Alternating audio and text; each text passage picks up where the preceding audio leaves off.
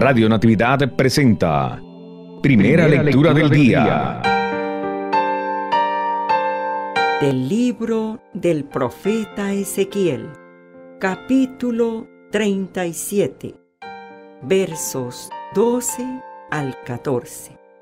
Esto dice el Señor Dios.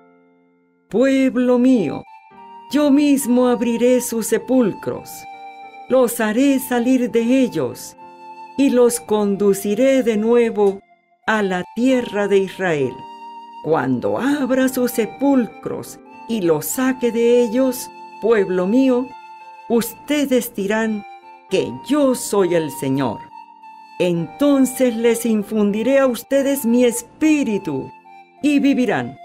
Los estableceré en su tierra y ustedes sabrán que yo el Señor lo dije y lo cumplí. Palabra de Dios. Te alabamos, Señor.